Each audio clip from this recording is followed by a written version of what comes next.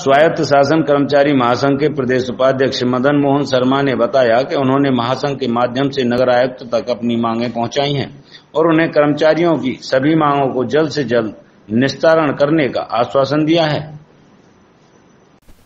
और हमारी भी यही अपेक्षा है माननीय नगर आयुक्त महोदय से कि नगर पालिका वो नगर निगम मथुरा वृंदावन के जो उनके कर्मचारी अधीनस्थ, उनकी समस्याओं का निस्तारण समयबद्ध होता रहे। जिससे माननीय नगर आयुक्त महोदय के साथ में समन्वय के रूप में आ, हमारी महासंघ उनका पूर्ण सहयोग करती रहे और वो हमारा सहयोग करते रहे तब ही जा कर के कोई आगे विकास कार्य या कर्मचारी जो है सहभागिता करेंगे और जब हमारी नहीं सुनी जाएगी तो फिर आंदोलन का रुख करना पड़ेगा।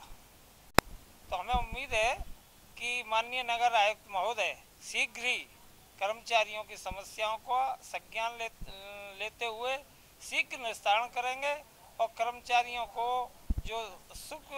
जो सुविधाएँ उपलब्ध होनी चाहिए वो शीघ्र सुविधाएँ उपलब्ध कराने।